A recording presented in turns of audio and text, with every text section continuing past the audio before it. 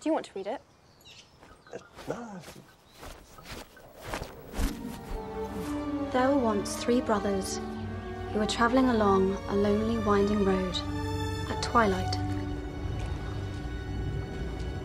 In time, the brothers reached a river too treacherous to pass.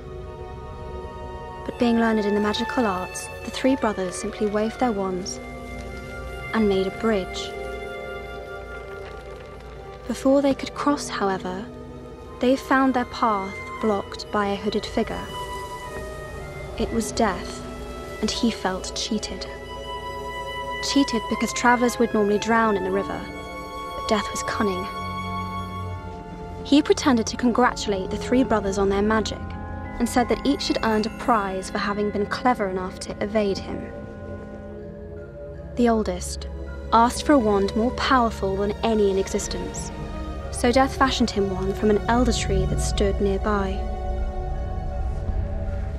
The second brother decided he wanted to humiliate Death even further and asked for the power to recall loved ones from the grave. So Death plucked a stone from the river and offered it to him. Finally, Death turned to the third brother. A humble man, he asked for something that would allow him to go forth from that place without being followed by Death. And so it was that Death reluctantly handed over his own cloak of invisibility. The first brother travelled to a distant village, where, with the Elder Wand in hand, he killed a wizard with whom he had once quarrelled.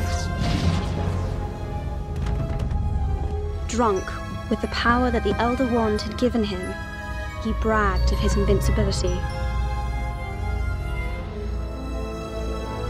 But that night, another wizard stole the wand and slit the brother's throat for good measure and so Death took the first brother for his own. The second brother journeyed to his home, where he took the stone and turned it thrice in hand. To his delight, the girl he had once hoped to marry before her untimely death appeared before him.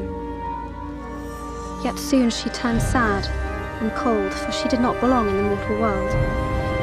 Driven mad with hopeless longing, the second brother killed himself so as to join her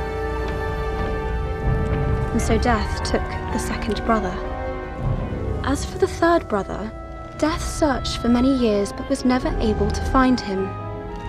Only when he attained a great age did the youngest brother shed the cloak of invisibility and give it to his son.